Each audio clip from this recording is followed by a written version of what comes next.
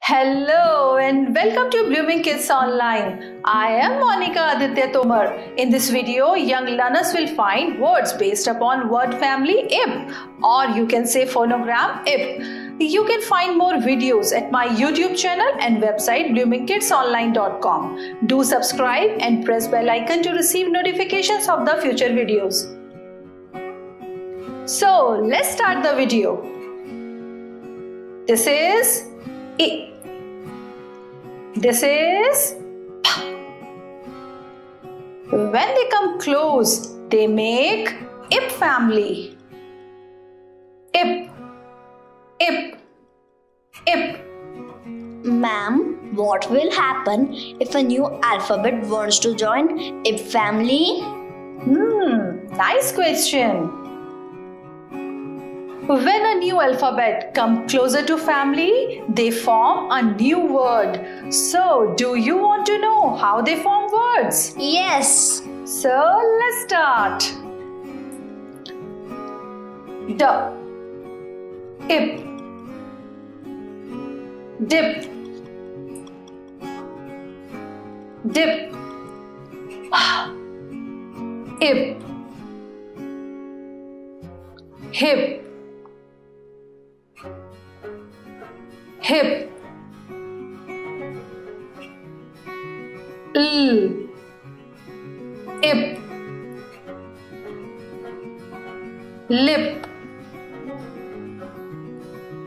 Lip. Mm ip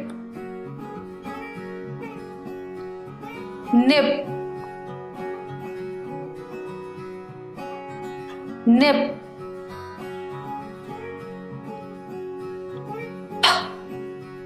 Ip. Pip. Pip. Er. Ip. Rip. Rip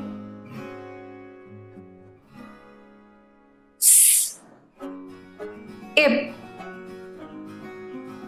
sip. Sip. Oh, now I understand how to make words. great. So let's revise. Ip. Ip, ip. Dip. Dip, dip, hip. Hip, hip, lip. Lip, lip, nip. Nip, nip,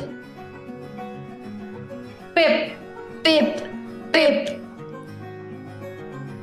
rip. Rip, rip, sip. Sip, sip. Thank you for watching the video. I believe this video is helpful for young learners. Don't forget to watch IP Family Riddles as they will help you revise what you learned today. Please do visit the website and subscribe my YouTube channel.